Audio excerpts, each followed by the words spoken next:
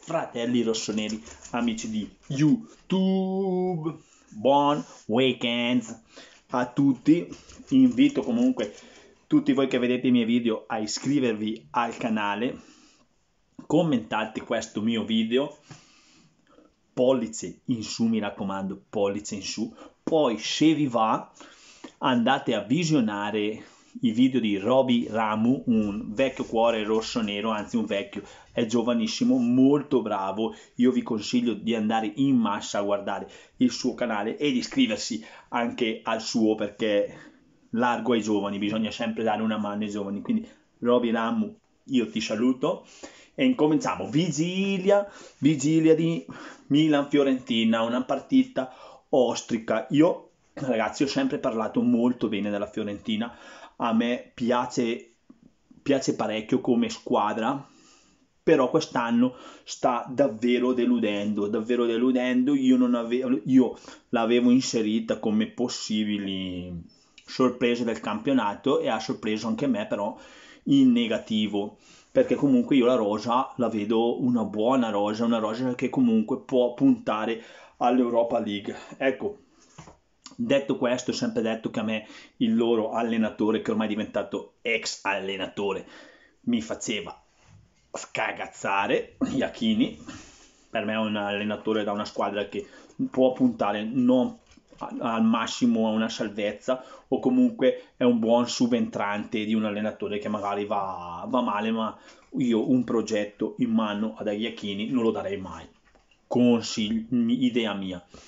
Detto questo, comunque una formazione, io non mi sento già coi tre punti nella saccoccia, neanche un po', perché comunque eh, è per una formazione che Zami, Zami Lenkovic ha addirittura Castrovilli che mi piace un sacco, ecco io Castrovilli lo porterei, lo prenderei a spalle e lo porterei subito a Milano, come anche Milinkovic che anche lui come difensore sarebbe.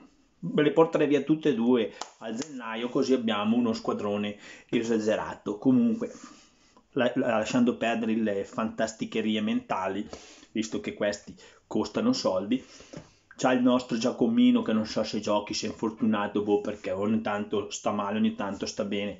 Ragazzi forse abbiamo non ero contento ma forse abbiamo fatto bene a non rinnovargli il contratto la pecca della Fiorentina, no, non dovrebbe esserci Ribery, la pecca della Fiorentina è lì davanti, Cutrone, Bomberone, Vecchio Cuore Rosso-Nero non gli danno molta fiducia e neanche lui quando entra fa tanto bene.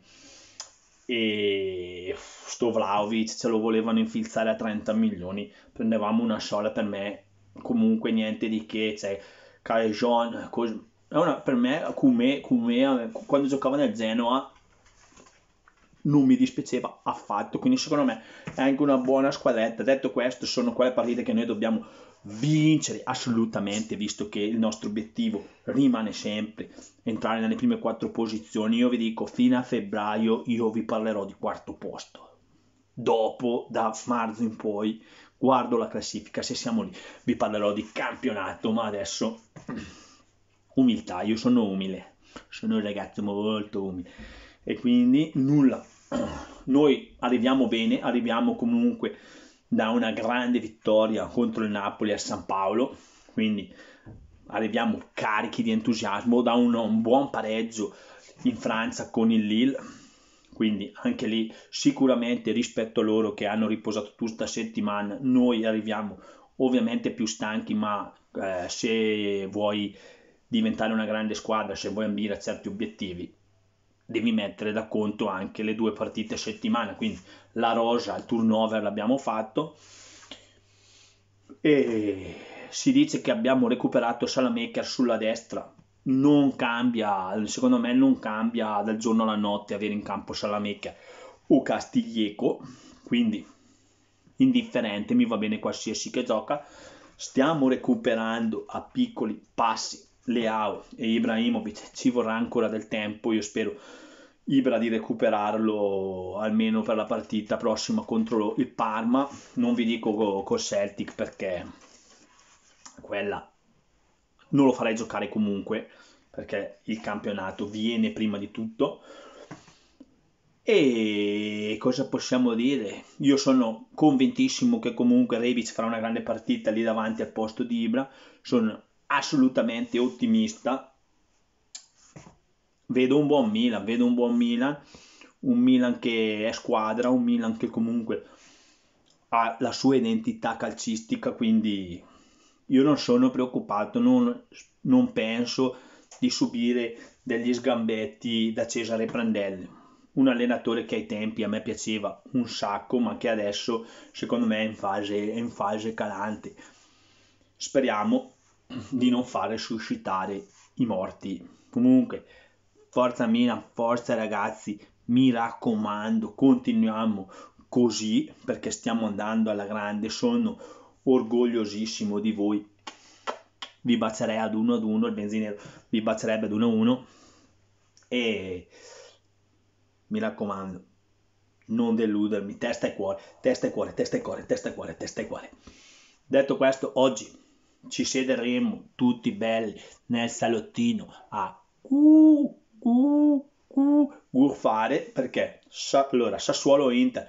Sassuolo Inter io la vedo male per l'Inter il Sassuolo in fiducia sta giocando un calcio esagerato De Zerbi grande allenatore emergente e dall'altra parte io vedo un Inter boh, oh, vedo un Inter con un Conte che non è più nel progetto, un, una squadra nervosa, perché l'ho vista nervosa già con Real Madrid, e secondo me, secondo me l'Inter stasera, oggi pomeriggio, anzi ore 15 ragazzi, subirà il contraccolpo psicologico. Io ho questa idea qua, lo dicevo anche ai miei amici interisti che, che bazzicano per il mio distributore gli dicevo ragazzi, secondo me l'Inter subirà il contraccolpo psicologico.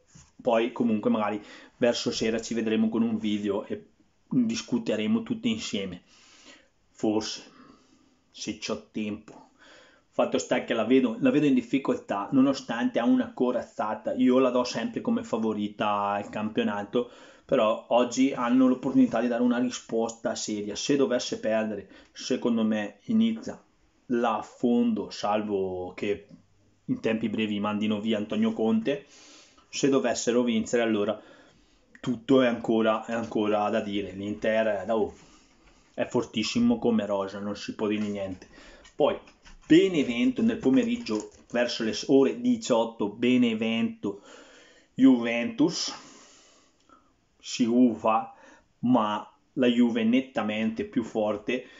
Pippo mio, boh, facci un regalo se riesci, ma se non riesci non ci si può dire niente. Eh, la Juve ha anche lei due squadre lì davanti, poi c'ha quel fenomeno di Cristiano Ronaldo, quindi le mie speranze sono praticamente ah, di, una, di una sconfitta e dopo io mi accontento anche di un pareggino dopo. l'importante è sempre che vinciamo noi non dobbiamo guardare gli altri però se la Juve non vince è sempre meglio detto questo amici juventini, state sereni perché siete una spanna avanti a loro.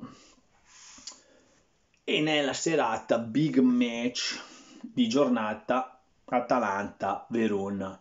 Anche lì, eh, ragazzi, l'Atalanta si gioca tanto eh, mercoledì in Champions, quindi sicuramente farà del turnover. Il Verona potrebbe approfittarsene perché è una squadra che eh, tosta, tenace nonostante non ha questi nomi, Mister Juric, grandissimo combattente, gli ha dato un'identità sempre vincente e tosta, quindi secondo me non sarà facile per l'Atalanta, anzi io mi aspetto pronostico, non scommettetelo perché sbaglio, però pronostico pareggio, Riosta Bordello, pareggio tra le due squadre, quindi cosa c'è Brioche? e quindi, e quindi a noi andrebbe da Dio, io spero in un pareggio che così almeno li vincendo domani, perché noi vinceremo domani, gli rubiamo due punti all'Atalanta che è il nostro rivale per il quarto posto. Quindi amici, mi raccomando, iscrivetevi al canale YouTube del Benzinero. Ci si vede prossimamente con un altro video vi faccio salutare brioche mi raccomando andate anche a vedere i video di Ramu. Vi lascio il link qui sotto. Iscrivetevi al canale, vi voglio tutti bene, forza mia, vinceremo sicuramente. Ci vediamo domani o in tarda serata.